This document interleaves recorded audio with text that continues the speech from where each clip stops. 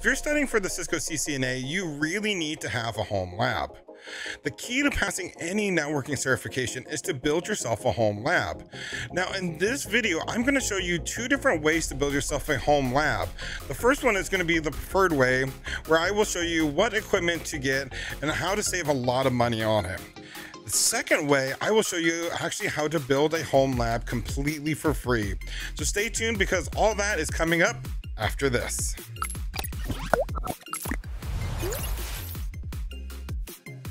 I get the question all the time how do I build a home lab and what equipment I recommend getting? And the main thing I tell everyone is you do not need to break the bank to get a really good home lab. That will last you a long time. Another thing I frequently get asked about is these pre built home labs you see on Amazon and eBay.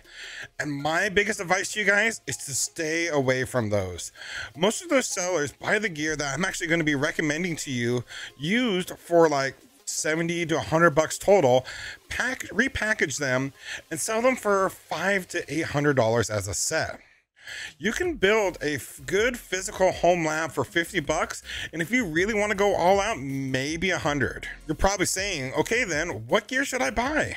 Now, if you're working with a super tight budget, I'd recommend buying one to two routers, such as the Cisco 871W. Because in this single box, you get not only a built-in switch, you can also get it with built-in Wi-Fi. Now, keep in mind, this is not going to be blazing fast, but it's going to get you familiar with the technology. Another great Cisco router is the Cisco 1750. These are nice and compact and quiet routers, which when you start getting into the bigger gear, they can get a bit noisy. If you're looking to step up into something that you might actually see in a production environment, I would recommend getting the Cisco 2600 series routers. These are something that you still might see in an enterprise environment. I actually got three of these because I got a killer deal on eBay. Speaking of, there's links in the description to all of these on sites like Amazon and eBay. Remember, you don't need to spend a lot.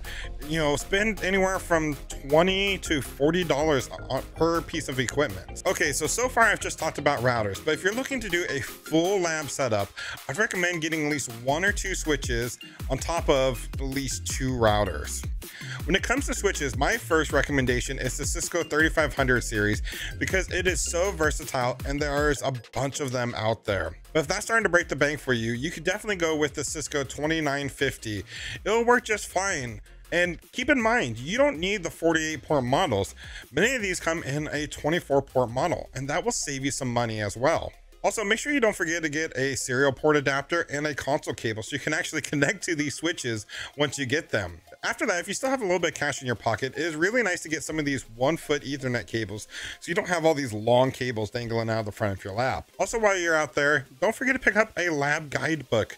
There is several different books out there that will actually give you labs to work through on this equipment. Now, in the beginning of the video, I mentioned I was going to show a free way to build a home lab. For that, we are going to be using a program called Packet Tracer. Packet Tracer is a network simulator put out by Cisco, and you can actually download it free from their website website. Packet Tracer can do nearly everything you can do with a physical lab, but if you have the money, I highly recommend building a physical lab because there is something to be said about plugging in a switch and watching it boot.